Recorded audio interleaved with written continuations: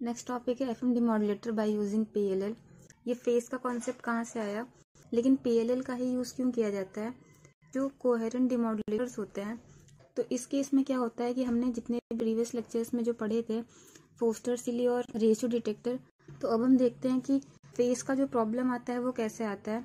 यहाँ पर अगर हम एक मल्टीप्लायर लें, इसी की वजह से हमारा फ़ेज़ एरर जनरेट होकर के आएगा। तो इसी फ़ेज़ एरर को रिमूव करने के लिए हम क्या यूज़ कर रहे हैं? फ़ेज़ डिटेक्टर हमें दो कंपोनेंट दे देगा।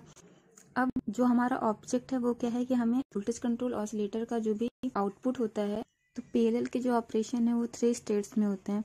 दूसरा स्टेट जो होता है, वो कैप्चर स्टेट होता है। मतलब कि जब हमने कोई भी इनपुट सिग्नल अप्लाई नहीं किया है उस केस में तो फ़ेज़ लॉक स्टेट में क्या होगा? तो F in minus F naught zero होने का मतलब क्या है? तो यहाँ पर फेस को क्या किया जा रहा है? अगर एप्लीकेशन की बात करें तो पीएलएल सर्किट का